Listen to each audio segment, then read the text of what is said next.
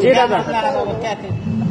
हम इसको कहना चाहता है कि एयरपोर्ट बन रहा है, एयरपोर्ट बने। हम लोग भी स्वागत कर रहे हैं। लेकिन हम लोगों को मैं ग्राम धर्मपुर का निवासी हूँ।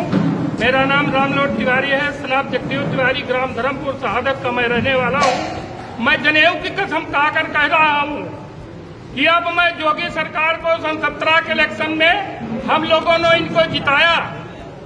और जिता करके, इनको जिता करके हम लोगों ने सोचा कि हमारे मुख्यमंत्री जी आ रहे हैं, हम लोगों को कुछ सुख सुविधाएँ मिलेंगी।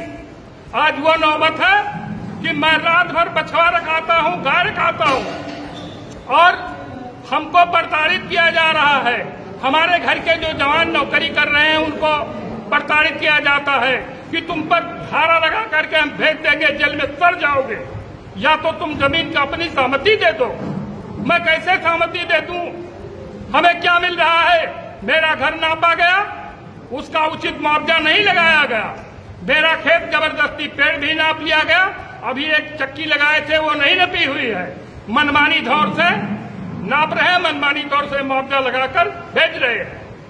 ये सरकार से गुजारिश है कि अगर आने वाली टाइम में मैं भाजपा का वोटर था, लेकिन अब मैं अपने आज औलाद और पूरे ग्राम सभाओं को कहूँगा कि भाजपा के चक्कर में मत आए मैं यही कहना चाहता हूँ, हम लोग जो नौबत भोग रहे हैं, वो हम भोग रहे हैं। ज़िंदगी भर किसी तरह में कमा करके घर बनाया, अब आज हमारा घर उजाड़ा जा रहा है। बच्चे हमारे भगाए जा रहे हैं। हम कहा चला जाऊँ?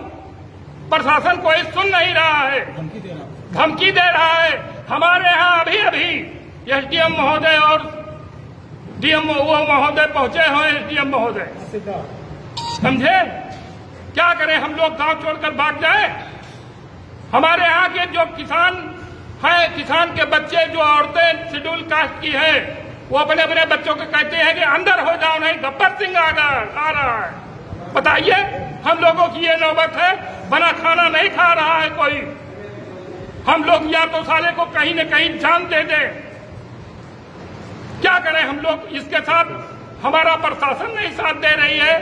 मीडिया वालों भी वैसे नहीं चलाते कभी भी नहीं सुनाई दिया कि कहीं पेपर में दिए हुए सीरियल से कायदे से कि हम लोगों का न्याय मिले। क्या नाम है रामलोट तिवारी सनाब धर्म सनाब जगदेव तिवारी ग्राम धर्मपुर करना है अब हमको हमें कैसा भारत चाहिए।